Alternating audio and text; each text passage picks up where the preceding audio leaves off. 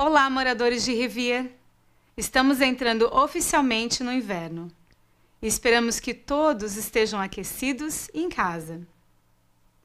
Infelizmente, os números atuais de pessoas infectadas com Covid-19 ainda são muito altos. E embora saibamos que a vacina está a caminho, ainda vai demorar um pouco para que todos tenham acesso a essa vacina. Por isso, estamos pedindo a todos que continuem a fazer a sua parte, ficando em casa o máximo possível, usando uma máscara sempre que sair de casa, mantendo uma distância social de dois metros uns dos outros quando possível. E se vocês tiverem sintomas ou forem expostos, façam o teste gratuitamente em um dos locais de Rivia.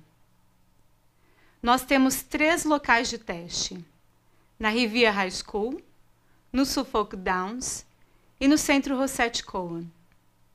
Você poderá encontrar os endereços e horários de atendimento destes locais de teste acessando o site rivia.org/coronavírus. Lembrando que o Centro Rosette Cohen oferece testes apenas para moradores de Rivia.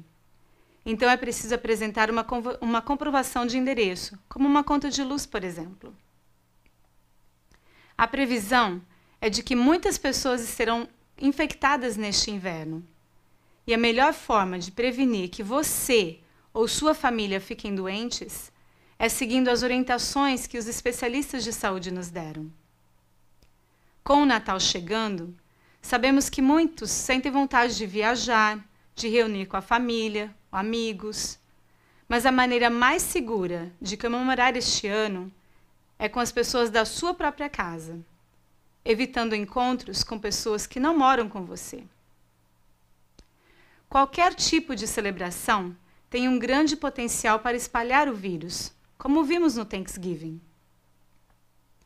Em uma entrevista coletiva na terça-feira, dia 15 de dezembro, o governador Baker relatou que em 1 de dezembro Quatro dias após o Thanksgiving, o estado tinha uma média de 2.400 novos casos de Covid-19 por dia.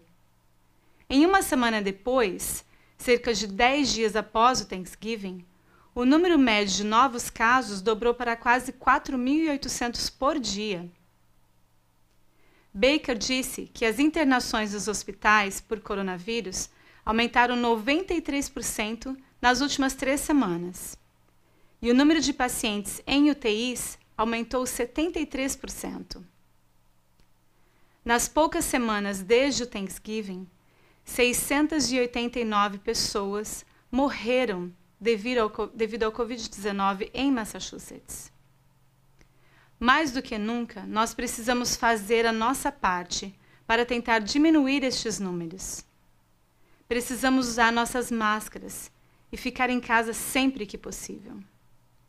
Rivia, nós podemos superar isso juntos.